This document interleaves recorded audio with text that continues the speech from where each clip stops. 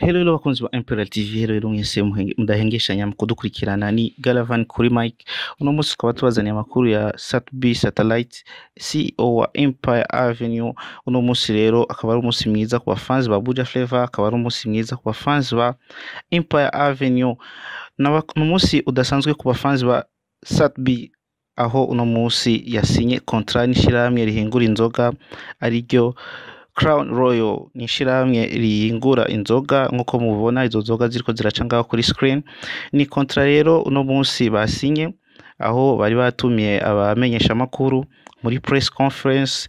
Iyo kontra rero ni kontra y'imyaka itanu aho iryo shirahamwe ryamwemereye ko Satp Satellite CEO wa Empire Avenue azo bazoza baramukorera album kila mwaka guys.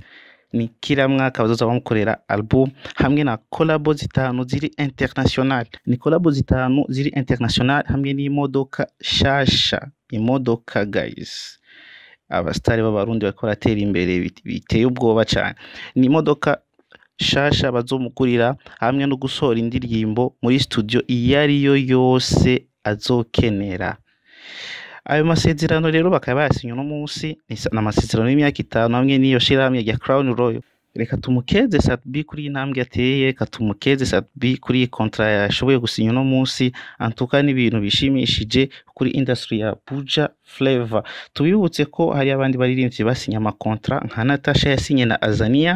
Ni ikintu kimeze neza ni ikintu tutoreka kubashikiriza ni ikintu tutokwirengagiza reka tumubwire ati congratulation Mr Satb aha ni ho amakuru yacu arangiriye uwo utaragira subscribe ndagusaba ugire subscribe kugira uzuze urakurikirana amakuru yacu buri gihe.